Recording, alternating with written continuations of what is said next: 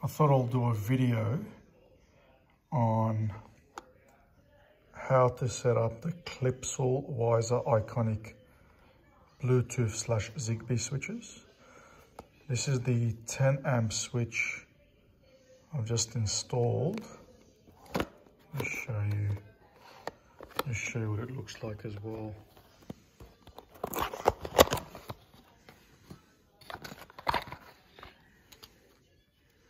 So that's it there.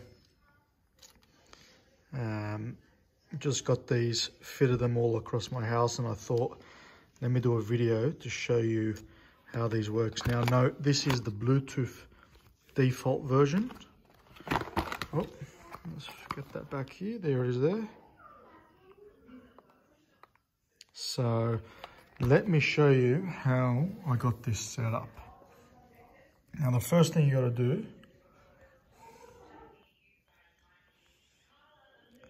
is you need to open up the Wiser app from Clipsal and you got to set the item into pair mode. So three times. Click on edit. Add new device. And then boom. Pair it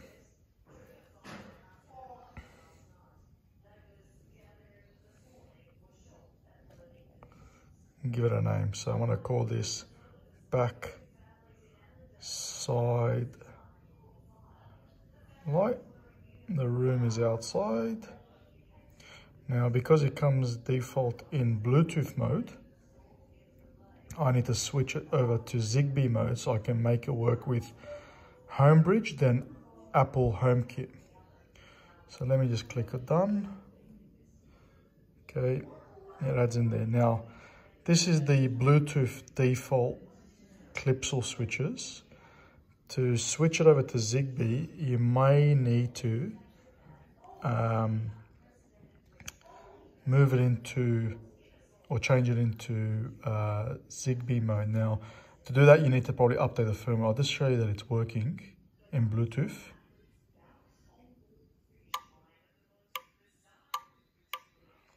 Okay.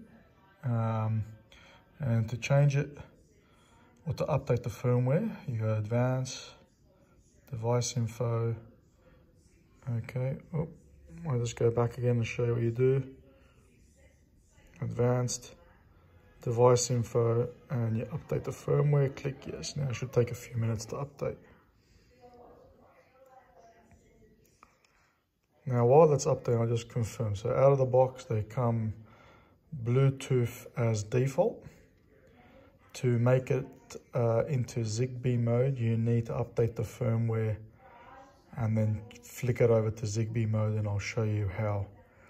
Then I'll show you how I've got it running with Homebridge and HomeKit. Uh, and I've done that via a Conbee 2 stick in my Raspberry Pi.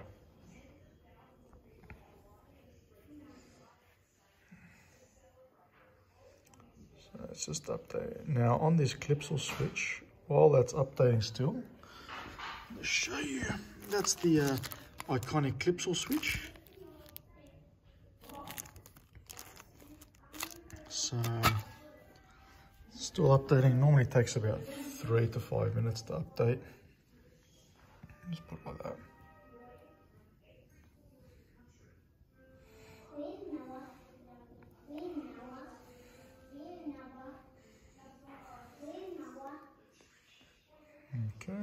There.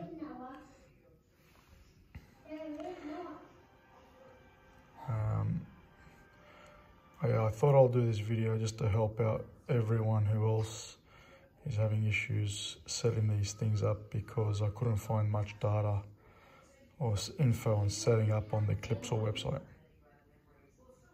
Okay, so it's updating.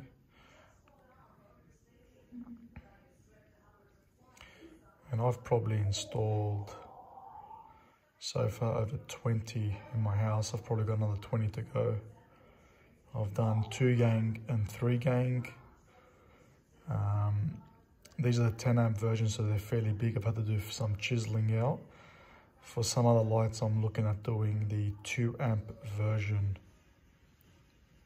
Okay, there you go.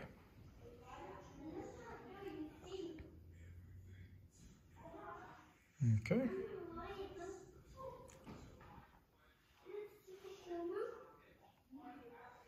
Firmware updated. And there you go. So you can see the light still works. Now it works on the app because it's in Bluetooth mode. Um, and what I want to do now, I'm going to go to my Conbee software that I've got installed and I think it was four, there we go. So that's my Conbee software running on my Raspberry Pi. Click on here. Now you can probably see, if I just go to lights, here are all the previous lights I've set up. I've even got an exhaust fan in there, which has got the wrong icon, but I'll work that out later. So now to add lights, you need to put the device or the switch into Zigbee mode. To do that, you got to push it 12 times at a consistent rate. So we'll do that. One, two, three, four, five, six, seven, eight, 10, 11, 12. Okay, you should see that now flick. Okay, there you go. It's now going to reboot into Zigbee mode.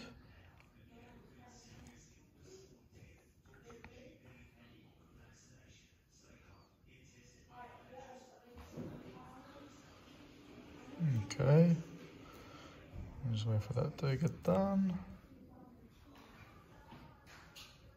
And what you can do in parallel, you can hit this button on the Conbee Phoscon app, click add new lights.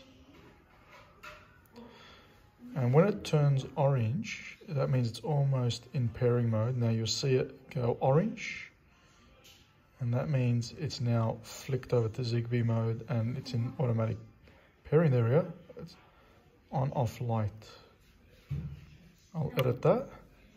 There you go. It's flicking just to tell you that it's um, active and I'll call this side back light and done. There it is there. Now, if I go to HomeKit, you'll see here are some of the lights that I've added in. You'll see it's not here.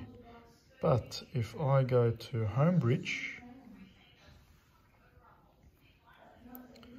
log into Homebridge, okay, and then if I restart the Homebridge software,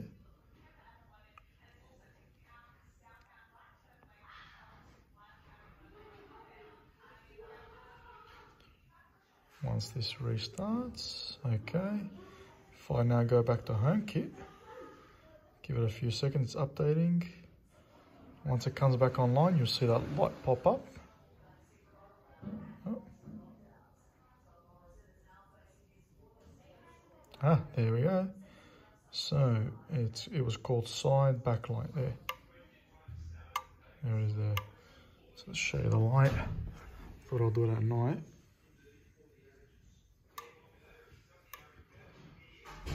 Pretty impressive. Um, any questions, let me know. I can also add more uh, videos or tutorials, but to confirm, this is the Clipsal Wiser um, switches. This is the 10 amp version running on, or connected to the Zigbee Conbee 2 gateway plugged into my Raspberry Pi, which is running Homebridge, and then that's connected to my HomeKit. Thanks.